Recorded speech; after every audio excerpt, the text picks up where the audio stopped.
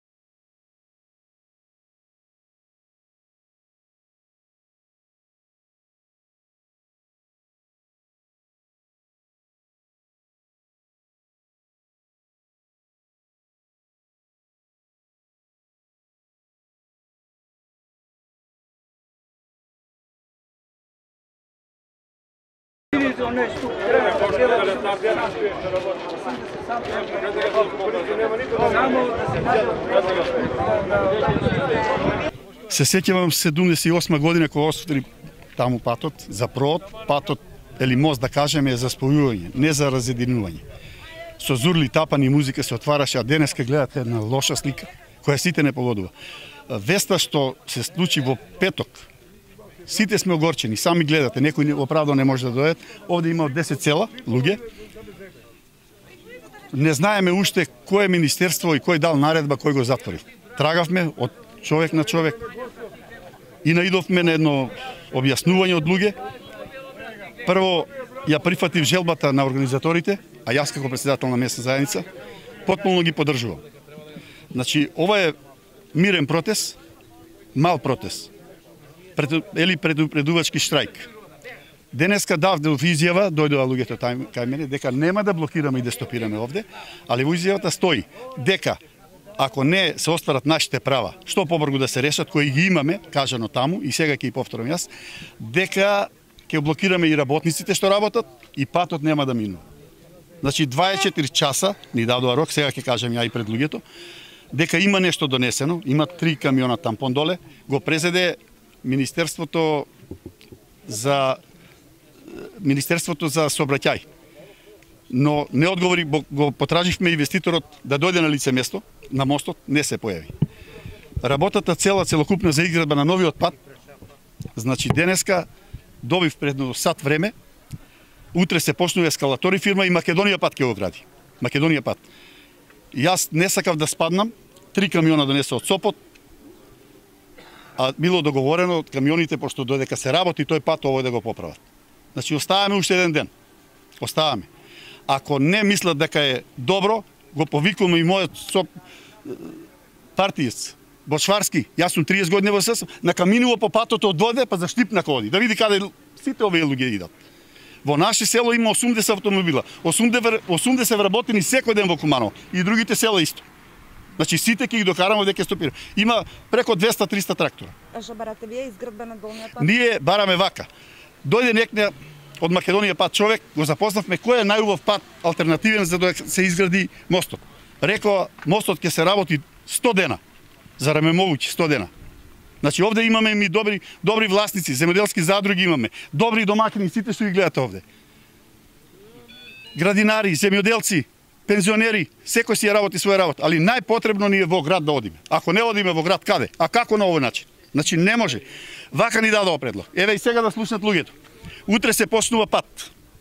Ескалатори го работи, ние ги дадовме предлог на брана. На брана не изводливо пат. Најдовме овде има 2,5 километра, попретен пат, само цевки да стават, еве сме на асфалт. Додека не се направи. Значи сите нека слушнат, еве пред, нема саат време доби информација. Ми се јави заменик директор на Македонија пат. Пренеси ја мојата порука, не доаѓам. И ја му реков што што се нашите барања. Значи, вистина, утре ќе се случи во исто време, утре вечер, ако не почнува да се работи. Ние многу брзо се слушаме. Телефони, добро функционираме со председателите на местни заедници од сите села, се слушнеме. Зима иде, времето се влошува, а и тие пред тоа требаше да направат алтернативен пат. Нивниот не си го направија. Му се јавуваме на инвеститорот, вика мене не ме занима. И затоа ви кажувам дека пратениците нек ни беа двајца, и од ВМРО и од СДСМ, дали се сакаат или не. Нас ова не е политички. Ова е пат за секој. За секој човек. Значи секој си има своја работа за едно апче во Кумано. Ние имаме продавници нам, не може да се дотур, да се врши откуп на млеко, дотур на храна, леп. Значи проблеми како и во грашто се секојдневни и овде се у село. Убо место за живење секој кај што се живее. Имаме овде и од викендици луѓе кои тука живееве. Има кои се оцелени, али имаат имо тука. Секој ден поминуваат. Ова не е минување пат. Јас реков, мостот спојува луѓе, не раздвојува. Во секое време да поминеш. Во ден да има сигнализација. Али највечер после пет овде надоле е страшно. Нема никој. Страшно е. Значи страшно е. Нема никаков ред нема. И затоа пак повторувам. До утре вечера, сабале ако не почне да се работи патот. Утре вечер сме повторно овде, ќе дадеме три дена, значи полицијата. Беше три дена даваме писмен рок, ставам печат, јас и сите од местни заедници ќе ставиме печат и ќе не правиме стварно блокада, да личи на блокада, да видат што се прави, што се работи. Ово е срамот. Срамота 15 села се одсечени од пут. Да не може да отидемо за едно апче и за нешто што ни треба потребно. Моја снашка е 8 месеца бремена. Све кое сабајле и на пладна иде со сплакање на работа. Насамеле у 6 саат од мој двор искачав 4 авто. Сите иде во град на работа. Ово е срамота. У три саати текнало затварав го мост. На што личи ово? Не знам што да кажу. Овој народ се собраја за тој, за протест. Ја још повеќе кога дојде ќе затвори пут. Али тоа е све по моје џабе. Исти проблеми имамо што викамо, имамо болни стари луѓе, не може да одат на, овој во град, полуемо за леп, старци нема леп кој да ги донесе со камион. Осечени сме од патот. Не знам што да кажам. Обеќаа Боже ќе направи, ама ништо, до сега нема ништо. Тоа не, најголем проблем е и пожаром. Не дај Боже нешто да се запали, не може да дојде пожар. Ам овој брза помош исто не може да дојде. Кој нас има 100 житело во село Кочкарово, исти проблем може да до град, да си да си платат сметки, пензии да се земат. Стари луѓе има. Тоа е што Исти како овие што кажа, колеги мои, исто, исто ја ги подржавам сите сработници. Ако не реша до утре, пак ќе се собереме мора да, да, да го реши проблем. Да се направи, да се проводи сега летос, летно време. Ништо друго не тражимо. Ми разбираме дека може да се деси овакви кварови, се деси свугде. И кај нас се десило. Меѓутоа да се нешто учини.